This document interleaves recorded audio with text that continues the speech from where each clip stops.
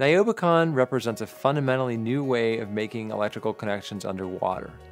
All other underwater electrical connectors attempt to exclude water from their contacts.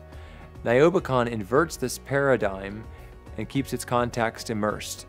The secret of Niobicon is that the electrical contacts are made from pure niobium. When niobium is in contact with water, it will react very quickly to form a film, a passive film, which completely covers the contact.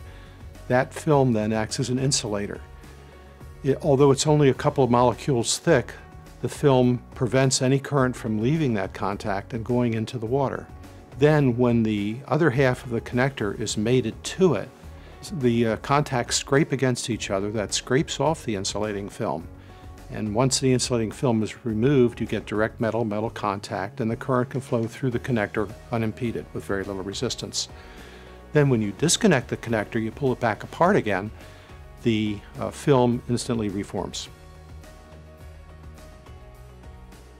I had started going down a slightly different path towards trying to do something similar to Niobicon. And then I started talking to Harvey, who had done some other work in uh, underwater connectors. And he had been using niobium for a slightly different purpose in his connector, in that it's highly corrosion resistant.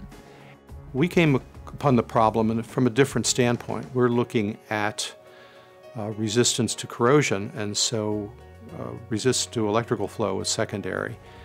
I had remembered how tantalum capacitors worked, and that niobium and tantalum are very similar to each other. And in fact, uh, niobium was used to make capacitors at one time, or still is actually. So I asked Harvey if he had any scrap niobium, and he said yes. Uh, the combination of having uh, corrosion electrochemists such as myself with a very practical uh, person such as Jim uh, just was a combination that you hadn't seen in the industry before, and that's how we came up with the concept went and made this horrible little kludge of a connector, and we tried it, and it worked out very well. We submitted a Spark project request, and we made our first real connector about two years ago, and then it's blossomed from there. And now we're marketing this, getting ready to license it. Uh, multiple patents have been issued, and there are more in process.